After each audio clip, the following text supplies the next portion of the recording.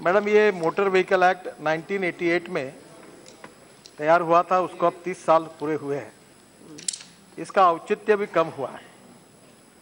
विशेष रूप से आरटीओ से जुड़े मामले नागरिकों के लिए काफ़ी असुविधा और सेवा में देरी और गुणवत्ता की भी कमी है।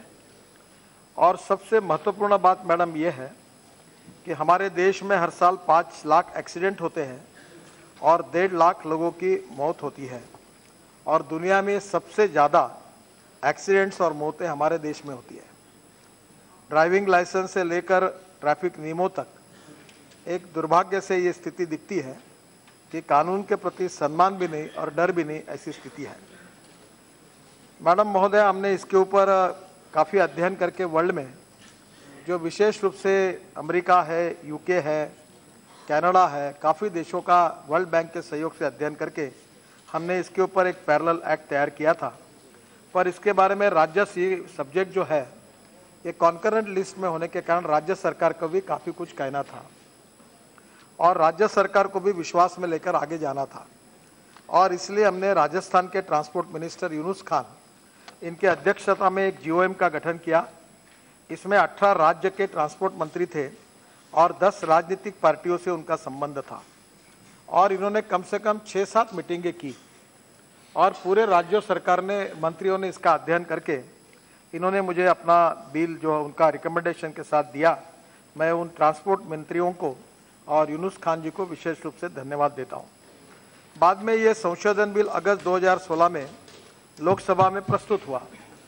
पर उस समय ये निर्णय हुआ कि ये स्टैंडिंग समिति के पास जाएगा और फरवरी 17 में ये बिल अपने प्रावधानों के साथ स्टैंडिंग कमेटी के साथ सामने गया। मैं विशेष रूप से इस समिति के अध्यक्ष मुकुल राय जी और उनके सभी सदस्यों को बहुत बहुत आभार व्यक्त करता हूँ, धन्यवाद देता हूँ कि उन्होंने जितने रिकमेंडेशंस दिए, लगभग हमने सब रिकमेंडेशंस को स्वीकार किया। समिति के ज़्यादातर क्लॉजेज जो थे, मोटे तौर पर सहमति उन्होंने व्यक्त की और बहुमूल्य सुझाव दिए हैं और तथा हमने 16 खंडों में संशोधन लाए हम तेरह खंडों पर समिति की सिफारिश पर कार्रवाई करने के लिए नियम में बदलाव भी लाएँगे। केवल तीन क्लॉज पर जो समिति सहमत है पर उनका कहना जैसे ई गवर्नेंस राज्यों में आना चाहिए तो समिति ने कहा कि ये राज्यों पर छोड़ दीजिए। पर स्पीकर महोदय, अगर राज्यों पर छोड़ देंगे तो ड्राइविंग लाइसेंस से लेकर संपूर्ण सिस्टम को जब तक कॉम्प्यूटराइज नहीं करेंगे ट्रांसपेरेंट नहीं करेंगे, तब तक ये मैंडेटरी करना होगा अदरवाइज़ उसके सिवा लोगों को सुविधा नहीं मिल पाएगी। और इसलिए हमने कहा कि राज्यों पर छोड़ने के बजाय हम लगे तो मदद करेंगे पर ये हमने उसके ऊपर उनकी बात को स्वीकार भी किया है और ये इसको आ, करने के बारे में निर्णय भी किया है। इसमें से गाड़ियों के बारे में उनने एक सुझाव दिया था कि हर गाड़ी को ट्रक में रखकर नई गाड़ी को आरटीओ ऑफ़िस में ले जाना पड़ता था फिर उसका रजिस्ट्रेशन होता था। और गाड़ी के पीछे भी फिर कोरिशन करने के पहले आसानी से नहीं होता था। तो हमने ये तय किया है कि अब नई गाड़ियों के लिए डीलर द्वारा रजिस्ट्रेशन होगा और आरटीओ द्वारा नए गाड़ियों के निरीक्षण संबंधित एक इलेक्ट्रॉनिक कम्युनिकेशन केबल होगा और मंजूरी मिलेगी, ताकि इससे तकलीफ़ नहीं अदरवाइज़ इससे आम आदमियों को तकलीफ़ कोई मतलब नहीं, इसमें ये भी बात हमने की है। यह बिल कोऑपरेटिव फेडरलिज्म और maximum governance and minimum government के सिद्धांतों में ध्यान में रखकर बनाया गया मैडम, मुझे कभी कभी बड़ा दुख होता है कि पूरे वर्ल्ड में सबसे आसानी से लाइसेंस जिस देश में मिलता है, उस देश का नाम हिंदुस्तान है। और ये अच्छी बात नहीं है। और एक व्यक्ति चार राज्यों में लाइसेंस लेता है और एक जगह सरेंडर करता है, दूसरे जगह पर चलाता है। और इसलिए अब इलेक्ट्रॉनिक सिस्टम का उपयोग करके अब एक व्यक्ति का रजिस्टर उसका इलेक्ट्रॉनिक रजिस्टर बनेगा। अब फर्जी लाइसेंस बनेंगे नहीं, ना कोई इसके बारे में किसी प्रकार का गुंजाइश है।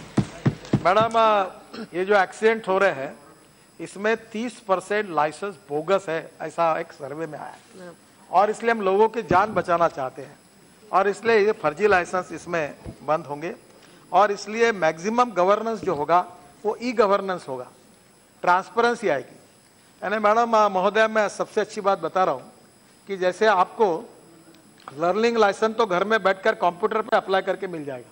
आपको आरटीओ ऑफ़िस आने की ज़रूरत नहीं।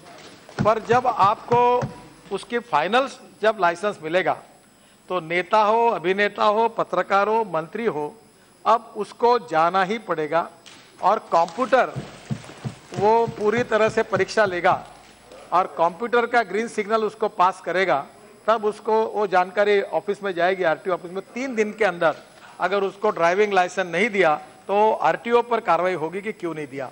तो इतना ट्रांसपेरेंट सिस्टम इसमें है अभी 28 ट्रेनिंग सेंटर हमने शुरू किए हैं और आने वाले समय में एक सेंटर के पीछे एक करोड़ की ग्रांट देकर विशेष रूप से ट्राइबल और बैकवर्ड एरिया में हम इसको शुरू करेंगे ड्राइविंग ट्रेनिंग इंस्टीट्यूट ताकि देश में बाईस लाख ड्राइवर्स की कमी है। तो बेरोजगारों को भी काम मिलेगा और ये सिस्टम भी उसमें आएगी। इसमें हमने तय किया है कि वैसे एक्सीडेंट के बारे में मैं मेरा खुद एक्सीडेंट हुआ था। मेरा पैर चार जगह टूटा है। जब मैं महाराष्ट्र में लीडर ऑफ़ अपोजिशन था तो पुलिस के प्रोटेक्शन में मेरा एक्सीडेंट हुआ। मेरा पूरा परिवार उसमें पड़ा था। तब से मैं इसके बारे में बहुत संवेदनशील हूँ। हमारे पूर्व सेक्रेटरी उनका लड़का चला गया और रोज की घटना होती है। और हम लोग कोशिश कर रहे हैं कि इसमें 786 हमने ब्लैक स्पॉट आइडेंटिफाई किया। उसको हम सुधारने के लिए ग्यारह हज़ार करोड़ खर्चा कर रहे हैं। स्टेट गवर्नमेंट को सीआरएफ में कहा दस परसेंट इस पर करो। और राज्य सरकार कारपोरेट सबको मैंने कहा और अभी देश में एक अवेयरनेस आया है।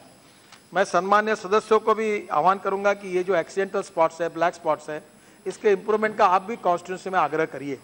और मैं ये, मैंने ये सुझाव दिया है कि पार्लियामेंट मेंबर जो होगा, उसकी अध्यक्षता में हर ज़िले में एक कमेटी होगी। और ये कमेटी वहाँ के जिलाधिकारी पर ज़िम्मेदारी रहेगी, वहाँ के एक्सीडेंट का डाटा इकट्ठा करेगी, और ये committee corporation municipal corporation state government और भारत सरकार को जो ऐसे स्पॉट है उसको इम्प्रूव करने के बारे में रिपोर्ट भी देगी और वक्त आया तो अगर इसमें कुछ सुधार है तो वो भी सुझाव भी देगी ताकि इसको हम लोग निश्चित रूप से आने वाले समय में कम से कम डेढ़ लाख मौतें हो रही है तो मुझे लगता है कि कम से कम जब पाँच साल ये संसद के पूरे होंगे तो हम 50 टक्के तो भी लोगों की जान बचा सकेंगे।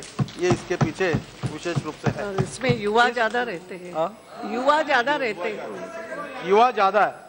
और मैडम, ये जिनके हाथ पैर टूट के ज़िंदगी बर्बाद हुई तो बेचारे अलग है। ये बहुत ही, यानी संवेदनशील व्यक्ति को बहुत तकलीफ़ देने वाली बात है। इस बिल में जो बातें, उसमें राज्यों को अधिक अधिकार हमने दिए हैं और ई गवर्नेंस मैंडेटरी किया है। सिंप्लीफिकेशन है, सरलीकरण किया है। सड़क सुरक्षा को बढ़ावा दिया है इंटेलिजेंट ट्रैफ़िक सिस्टम अब कोई पुलिस की ज़रूरत ही नहीं पड़ेगी। कैमरा लगा हुआ है। अगर मंत्री भी वायलेशन करता है तो 24 घंटे के अंदर घर में टिकट आ जाएगा। तो अभी कोई गुंजाइश नहीं है। तो सड़क सुरक्षा को बढ़ावा दिया है। इसमें काफ़ी बातें जो मैं डिटेल में आपको बताऊँगा जो बिल में है। परिवहन व्यवस्था में सुधार है। और पोल्यूशन बड़ा कंसर्न है। आने वाले समय में इलेक्ट्रिक गाड़ी, electric bus, ethanol, biodiesel, bio CNG methanol. आज ही मेरे यहाँ चीफ सेक्रेटरी के साथ कैबिनेट मीटिंग हुई और हमारे लोगों ने अब लिथियम आयन सेल ढूंढा है। और उसके आधार पर हमारे स्टेट की जो दो लाख बसेस है, उसको कैसे कन्वर्ट करना और टिकट के दर आधे कैसे करना गरीबों के लिए? इसके ऊपर सरकार काम कर रही है। तो मुझे लगता है ये परिवहन व्यवस्था जो रूरल ट्रांसपोर्ट की, वो भी इसमें है। दुर्घटनाग्रस्त पीड़ितों को जल्दी सहायता, ये भी इसमें है। पूरी तरह से आईटी का उपयोग 100 परसेंट। अभी आपको जैसे कोई पुलिस अगर पकड़ता है तो हमने 18 करोड़ व्हीकल ऐप तैयार किया है। तो पुलिस बोलेगा, तुम्हारा सर्टिफिकेट का गाड़ी के कागज़ का है तो तुरंत मोबाइल निकालो। हमने पूरे आपके डॉक्यूमेंट्स को एक जगह स्टोरेज किया लॉकर में। आप वो जाकर उसके ऊपर अपना दवा और उसको दिखाओ, ये ये कागज़ है।